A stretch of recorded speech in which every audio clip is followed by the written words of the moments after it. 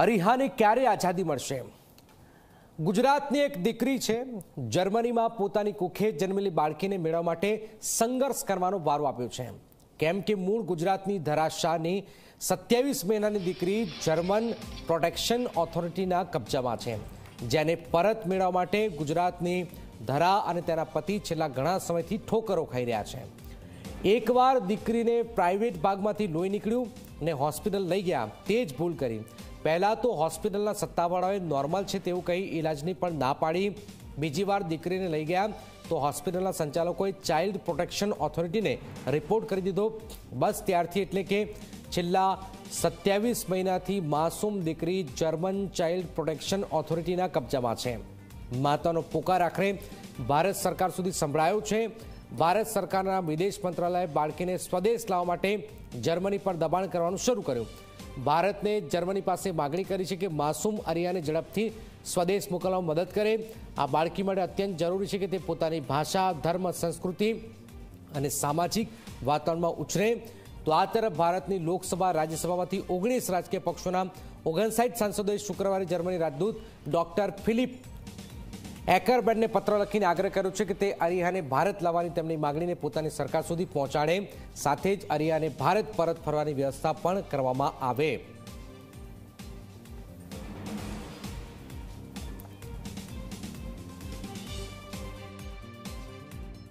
The Ministry of External Affairs and the Embassy of India, Berlin, have been persistently advocating for the return of Arya Shah to India. The child is an Indian national, and she was placed in the custody of Germany's Youth Welfare Office, or the Jugendamt, on 23rd September 2021, when she was seven months old. She has now been in foster care for more than 20 months. Our efforts have been guided by the best interests of the child which we believe can be fully realized only when she is in her home country, where her socio-cultural rights can be safeguarded. Accordingly, we have been requesting Germany to return the child to India. અમારી દીકરી સાત મહિનાની હતી ત્યારે એને accidentally external genital એરિયામાં injury થઈ ગઈ અને જર્મન ચાઇલ્ડ સર્વિસીસે એને લઈ ગઈ. જ્યારે અમે પોતે ડૉક્ટર પાસે લઈ ગયા હતા. પહેલી વાર લઈ ગયા તો ડૉક્ટરે પાછા મોકલી દીધા, કંઈ નથી કહીને અને ફોલોઅપ ફોલોઅપ માટે લઈ ગયા તો અમારા પર બધો આરોપ લગાવ્યો સેક્સ્યુઅલ અબ્યુઝ ઓફ ધ ચાઇલ્ડનો પણ અમે સાચા હતા. અમે પોતે ડૉક્ટર પાસે લઈ ગયા હતા. પૂરું ઇન્વેસ્ટિગેશન પછી હોસ્પિટલે રિપોર્ટ આપી દીધો કે બાળક સાથે આવું કંઈ નથી થયું અને પોલીસ કેસ વિધાઉટ ચાર્જિસ બંધ થઈ ગયો. પછી પણ ચાઇલ્ડ સર્વિસીસે યુગન આમટે પેરેન્ટલ કસ્ટડી રિમૂવ કરવા માટે કેસ ચાલુ રાખ્યો. કોર્ટ અપોઇન્ટેડ એક્સપર્ટે ડિસેમ્બર બે હજાર બાવીસમાં રિપોર્ટ આપ્યો કે બાળકને પેરેન્ટ્સ સાથે તમે રહેવા દઈ શકો છો સુપરવિઝનમાં અને એમની પેરેન્ટિંગ સ્કિલ અમુક એમને નથી આવડતા આપણે સુપરવિઝનમાં રહીને આપણે કામ કરી શકીએ છીએ.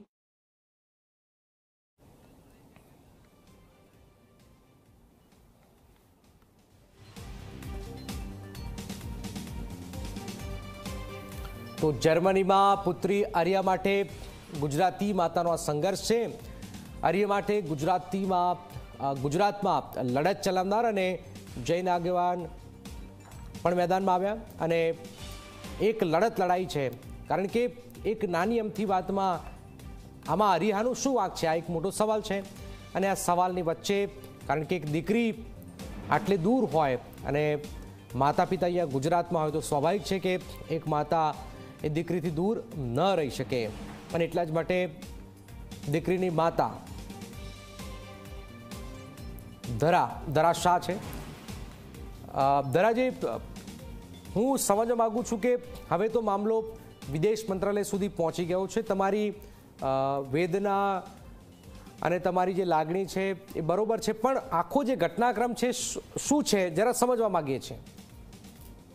જો ઘટનાક્રમ તો એ છે કે બેબુનિયાદ આરોપ લગાવવાનો કોશિશ કરી પણ આપણે સાચા હતા.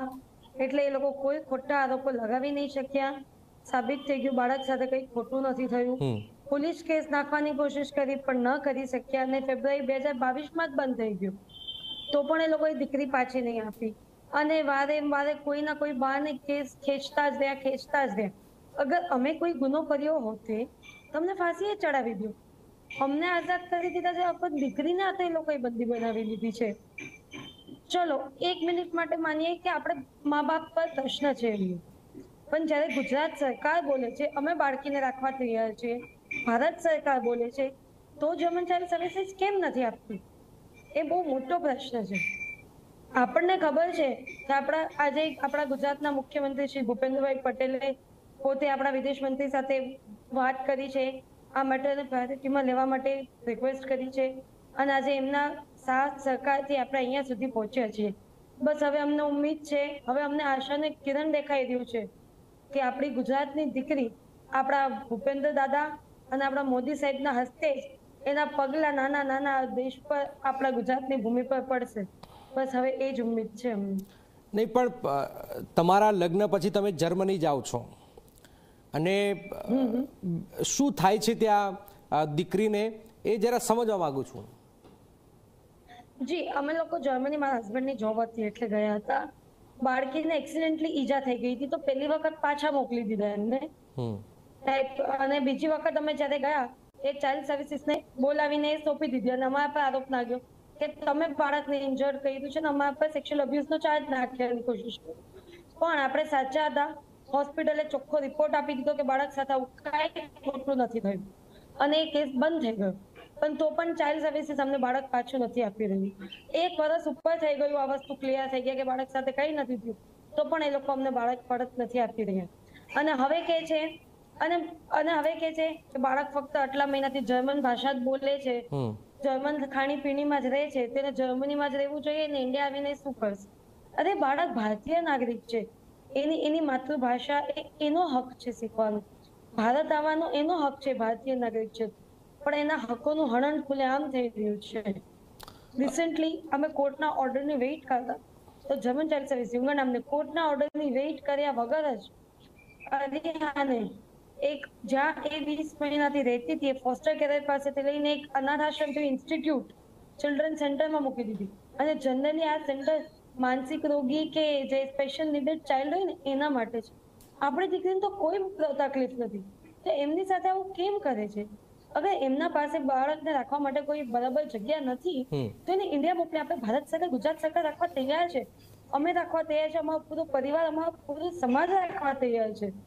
જર્મન કોર્ટ અપોઇન્ટેડ એક્સપર્ટે પણ કહ્યું છે કે બાળક મા બાપ સાથે દેખરેખમાં રહી શકે છે.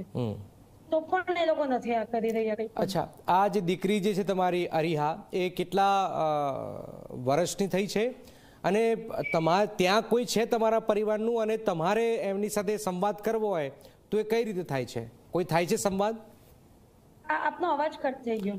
દીકરી કેટલા વર્ષની થઈ છે? નંબર એક ત્યાં તમારા પરિવારનું કોઈ છે કે નહીં? નંબર બે અને તમારે દીકરી સાથે વાતચીત કરવી હોય તો ત્યાં કઈ રીતે થઈ શકે પછી વાતચીત? દીકરી અત્યારે સત્યાવીસ મહિનાની થઈ અને એકવીસ મહિનાથી જર્મન ચાઇલ્ડ સર્વિસીસ યુંગા નામની કસ્ટડીમાં છે. જર્મનીમાં મારા હસબન્ડની જોબ માટે હું અને મારા હસબન્ડ જ ગયા હતા. બાકી અમારો પૂરો પરિવાર ઇન્ડિયામાં જ છે. અમારા વિઝા પણ હવે ખતમ થઈ રહ્યા છે. આઈટી માં બધાની જોબ જાય છે તો મારા હસબન્ડની જોબ પણ જતી રહી છે. અમે પચાસ લાખથી વધારેનો તો ખર્ચો કરી નાખ્યો છે. પણ આનો કોઈ રિઝલ્ટ જ નથી આપ્યો. એ લોકો કોઈના કોઈ બાને કેસ ખેંચી જ રહ્યા છે. અને અમે જ્યારે કીધું કે અમારા વિઝા પતી રહ્યા છે અમે ઇન્ડિયા જવા માંગીએ છીએ. તો એમણે કીધું તમે ઇન્ડિયા જઈ શકો છો પણ બાળકને અમે તમે ગુડ બાય કહેવા મોકલી દઈશું. એ લોકોને કોઈ પણ રીતે બાળકને જ રાખવો છે. અને બાળકને મળવાનું જે આપણે કહ્યું અમને પહેલા શરૂઆતમાં ફક્ત મહિનામાં એક કલાક મળવા દેતા હતા. અને અમે જે મળીએ છીએ એ સોશિયલ વર્કરના સુપરવિઝનમાં મળીએ છીએ. તેમણે ખૂબ જ પોઝિટિવ રિપોર્ટ્સ આપ્યા છે. તો એ પોઝિટિવના રિપોર્ટના મદદથી હવે અમે પંદર મહિના પંદર દિવસમાં એક કલાક મળીએ છીએ. અને એ લોકોએ એવું સજેસ્ટ કર્યું છે કે હર મીટિંગ તમે અડધી કલાક વધારો. પણ જર્મન ચાઇલ્ડ સર્વિસીસ એમની વાત પણ નથી સાંભળી. જે અમને બાળક સાથે જોયે છે, એ બધા કહે છે કે બાળકની મા બાપ સાથે મીટિંગ વધારો મા બાપ સાથે રાખો. પણ જર્મન ચાઇલ્ડ સર્વિસ યુંગર નામ નથી, અમને બાળક સાથે જોતું નથી, કોઈની વાત સાંભળી રહ્યું બસ એ લોકો એકદમ જિદ્દી થઈને બેઠા છે. શું એમનું એવું માનવું છે કે બાળકને અનાથની જેમ રાખવી એ ભારત, ગુજરાત મોકલવા કરતા વધારે યોગ્ય છે? એ લોકો આપણને ગુજરાતની, આપણે ભારતીય સંસ્કૃતિને શું સમજે છે? એ હું આપને પૂછવા માંગુ છું. નહીં, પણ વાતચીતનું કોઈ માધ્યમ જ નથી. તમે કહી રહ્યા છો કે એક કલાક મુલાકાત માટે સમય આપે છે અને હવે તો તમે ત્યાં, તમારા ફેમિલીનું ત્યાં કોઈ છે કે નહીં હાલમાં? કે હું ને મારા હસબન્ડ જ છે. હું અહીંયા ટેમ્પરરી આવી છું. આવતા અઠવાડિયે પાછી જાઉં છું જર્મની કારણ કે દીકરીને મૂકીને તો નહીં આવીએ. દીકરીને એ લોકોના ભરોસે નરકની જિંદગીમાં અનાથની જિંદગીમાં છોડીને અમે નહીં આવી ભાઈ. ગમે એમ કહીને દીકરી માટે લડત તો લડવી જ પડશે. અને આપણે સાચા છીએ તો આપણે શેનો ડર ને એ લોકો શું કહે છે તમને? તમે કેસ જીતી ગયા. આ તો એક નોર્મલી ઘટના છે.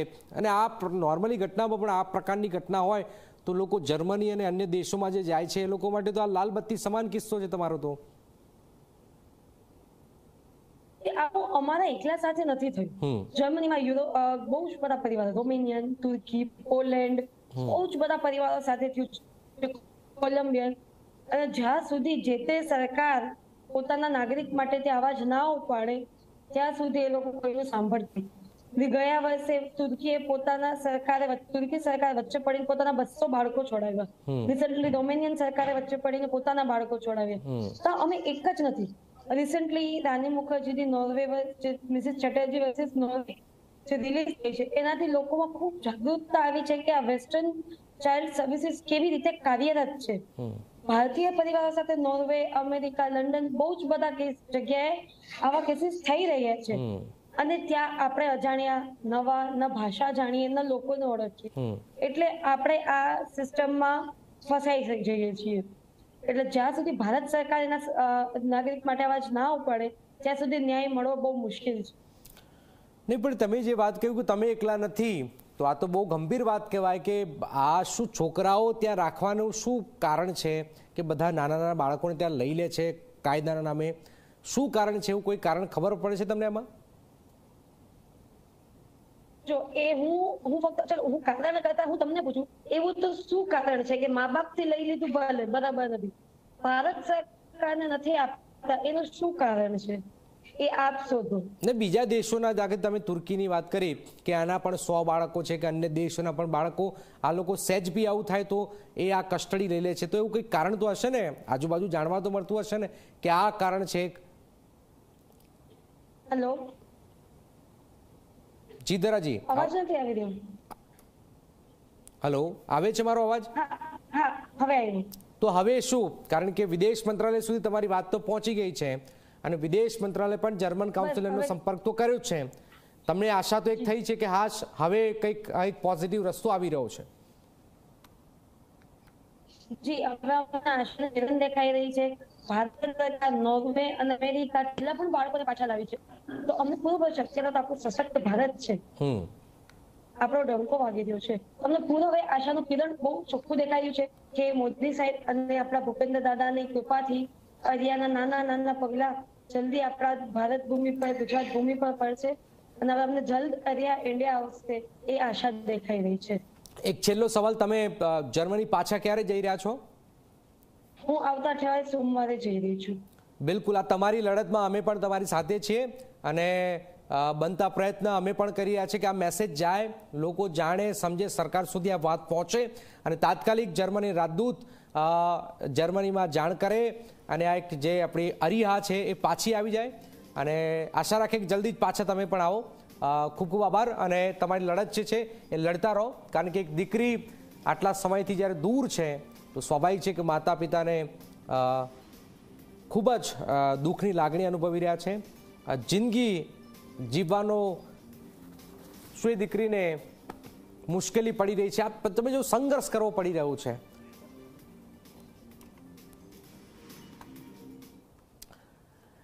તો આગળ વાત, જે આપણે જર્મનીમાં પુત્રી આર્ય માટે ગઈ, કે ગુજરાતી માતા એક સંઘર્ષ કર્યો.